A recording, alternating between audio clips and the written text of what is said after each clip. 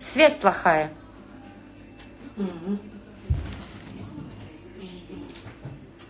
Эй, ребята, вы где?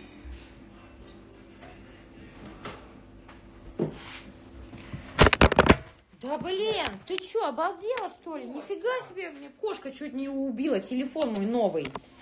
Старуха, блин. Ей уже 90, 120 лет. 120 лет моей кошке. То есть ей 20 лет по-нашему. А, 140 уже. умножаем 140, на да? семь. Ну да. А, 140 лет кошки, представляете? Долгожитель какой. Ну, это на 7, да. Ну, сколько там надо умножать? Так. Приезжайте в Липецк. Я была, кстати, в Липецке. Мгм. Яна, а что в части коллагена посоветуете перенимать? Так есть коллаген, можно его и принимать. Есть э, глюкозамин, хондроитин для суставов. После курса можно попасть тебе на индивидуальное ведение? Можно, конечно. Можно и нужно. Какой у вас рост? 163. Ты где? В Питере? Привет, привет, привет. Ты давно в спорте? Четыре года, нет, три года выступаю, а хожу в зал уже ну, почти 14 лет. Юлечка, привет. Кошка? Да кошка давно на ПП уже. Привет, привет. БЦА, Минки, вписываем в Fat Secret. Ну, БЦАшки не надо, аминки, ну, можете так прибавлять, сколько там аминки грамм. Вписывайте, вписывайте обязательно. Протеины вписывайте. А, скажите, что с тем, с чем тренировать, какие группы объединить? Ну, я бы тренировала ягодицы отдельно. Можно, ну, плюс ноги. Чуть-чуть. Пару упражнений на ноги и в тренировку ягодиц. Плечи, например, или с руками, или а, заднюю там дельту со спиной, переднюю дельту, среднюю с грудью или с руками, пресс. Ну, то есть верх тела сочетайте, как хотите. Можно спина и грудь, например, покачать даже. Вот. И низ тела тоже сочетайте друг с другом. Ягодицы, передняя поверхность бедра или ягодицы, задняя поверхность бедра. Можете просто прокачать ваши ягодицы и вообще отдельную тренировку сделать на ноги. Вот. э, Я на втором месяце на вашем курсе по полчаса до этому не знала, что у меня есть пресс. Круто. Это значит, что ты соблюдала питание, не только тренировки. Если ты увидела свой пресс. Как относитесь к диете? К какой именно диете? Не. Что тебе дало толчок для старта фитнес-бикини? С чего ты начала? Подробнее, пожалуйста. Ну, вообще, все эти истории уже рассказывались. Э, Я не собиралась выступать, я просто делала себе форму, мне не нравилось мое отражение в зеркале. Мы с тренером просто качались, просто делали меня лучше. А потом тренер посоветовал, а давай мы выступим. Ну, а давай. Это я уже была с хорошей формой. Вот. Мы еще полгода проработали, прокачались, ну и выступили хорошо, удачно. Я на самый большой вес приседа, какой берешь, берете чаще. По-моему, максимум это было 70 килограммов. И то, наверное, два раза в жизни. А так в среднем ну, 50 килограммов. А сколько грамм белка на килограмм употребляешь сейчас? Около двух граммов. Сколько доступ видео в ваших курсах? На время э, покупки курса, на время курса, то есть 3 месяца, 90 дней, но иногда у меня бывают такие акции, что доступ будет навсегда. А, Яна, не вредно ли для фигуры печеньки спорте? Сколько максимум в день их можно съесть? Слушайте, ну можно все превратить, знаете, в неполезную еду, если пережрать чего-то слишком много. Ешьте не каждый день, ешьте раз в неделю, два раза в неделю, смотря какая у вас форма, смотря что вы в этот день едите еще. Если один раз съесть печеньку в этот день, один раз съесть творожочек в этот день, один раз съесть орешку в этот день, еще что-то там еще. И так и получится, что вы весь день что-то едите один раз в день. Яна, как вы питаетесь? Можете вкратце рассказать? Ну, вкратце, это утром омлеты с салатами, днем углеводы, э, пару раз или три раза, например, с овощами. Я стараюсь углеводы с белками не соединять, потому что ну, сильно много будет в желудке место занимать. Перевариваться будет дольше. А вечером салаты, белки и овощи. Белки в смысле рыба, мясо, рыба может быть красная, белая и так далее. Индейка, стейк с овощами, с салатами, с зеленью. Все, вот мой рацион вкратце.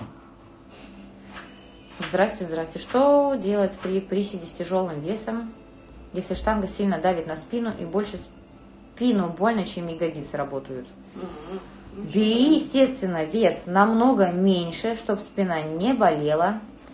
А, и более медленно делаю упражнения, чтобы чувствовать, чем ты это все делаешь, чтобы ты чувствовал только ягодицы. И второй момент, тебе нужно качать спину. Э, делай обязательно подтягивание, чтобы ты растягивала позвоночник и закачивала мышцы. Позвоночник растягиваем и бетонируем себе позвоночник. Вот. А так с этим не шути. Если ты чувствуешь боль, то вообще убери сейчас приседы, не делай приседы. Качай спину, отдохни, восстановись. А потом начинай с весом наполовину, что ты сейчас делаешь. Попробуй делать в смите приседания, когда ты, в принципе, можешь ноги отвести вперед, будет нагрузка исключительно на те мышцы, которые тебе нужны. Не надо будет следить там, за, равновесием, за равновесием и так далее. В гаке делай жимы платформы. Можете ли вы себе иногда позволить р? Что это такое? А ты тренируешь дистанционно фитнес-бикини?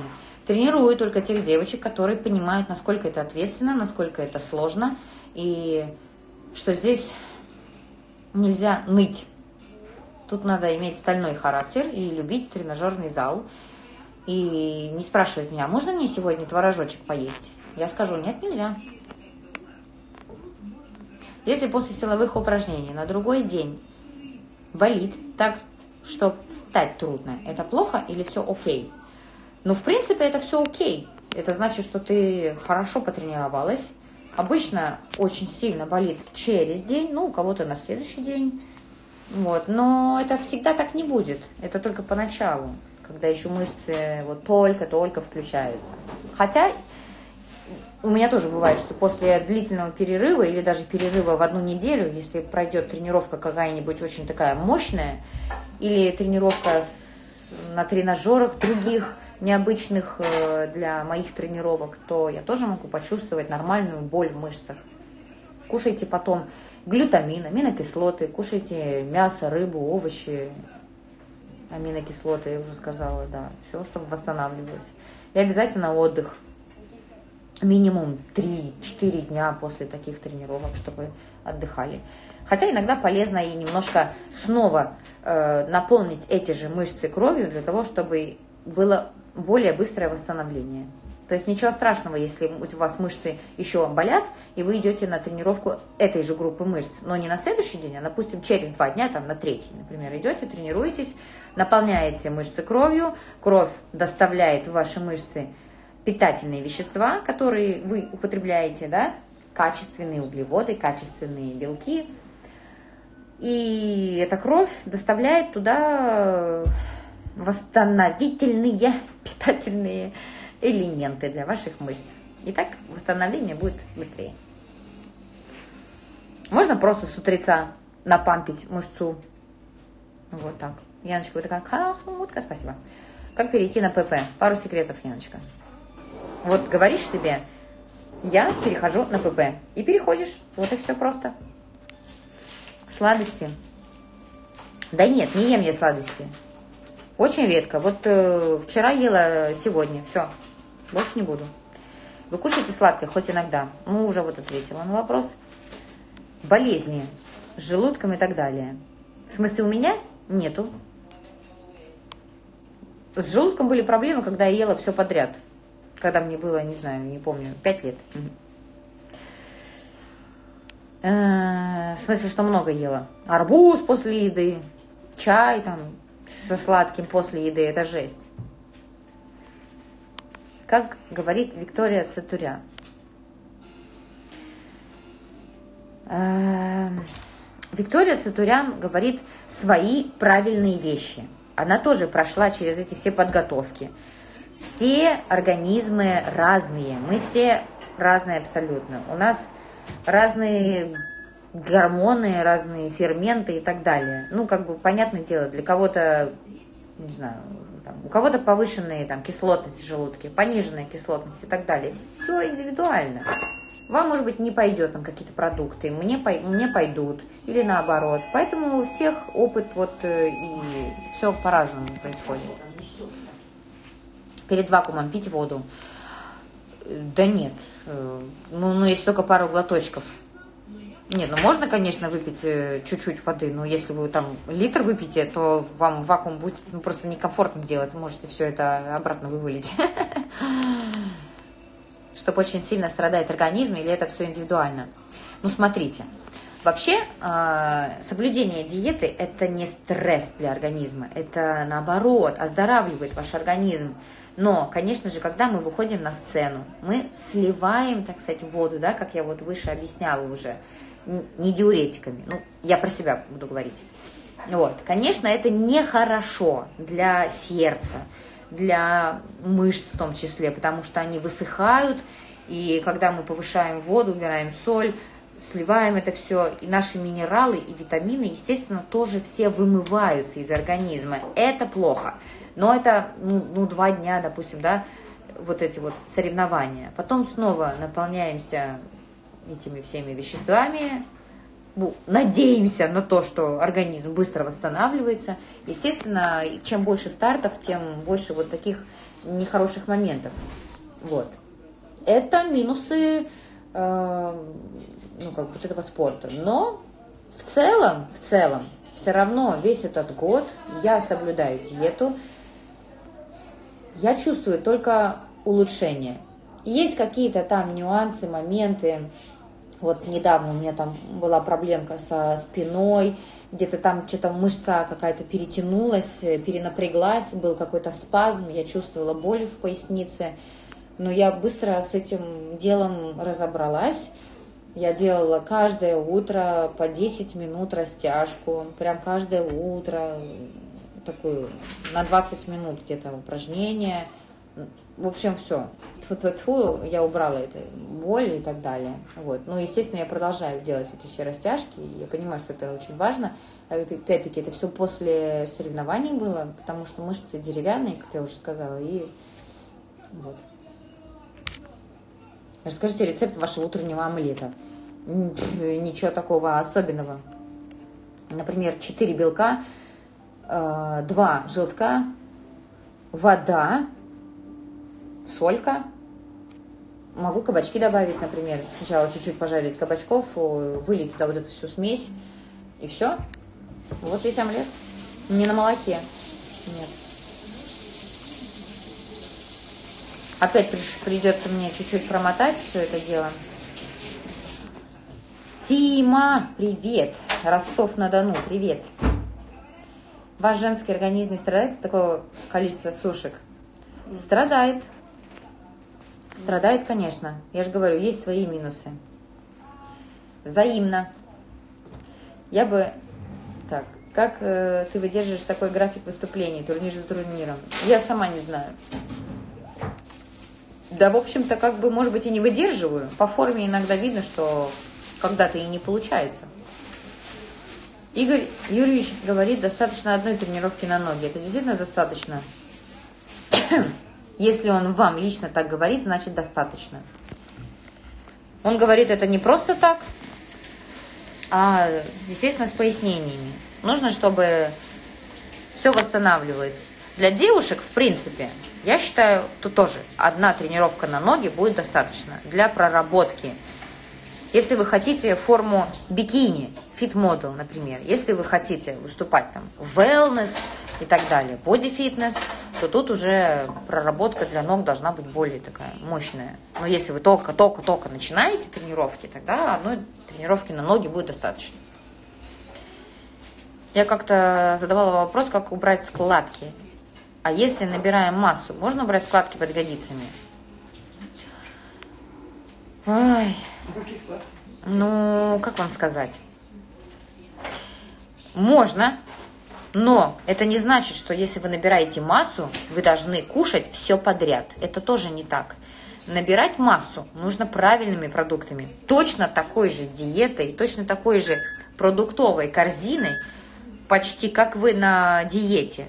Только количество этих углеводов у вас будет больше. Вот и все. Не надо обжираться всяким сладким для набора массы. Это бредятина полная, что надо набрать массу и жир. Естественно, у вас должно быть достаточное количество углеводов и белков, и жиров обязательно, чтобы питать ваши мышцы, чтобы они у вас не усыхали во время силовых тренировок, а только лишь прибавлялись. Но если вы видите, что у вас э, начинает толстеть, увеличиваться жировая прослойка, это значит, что вы много едите. Уменьшите на 20 грамм меньше углеводов или делайте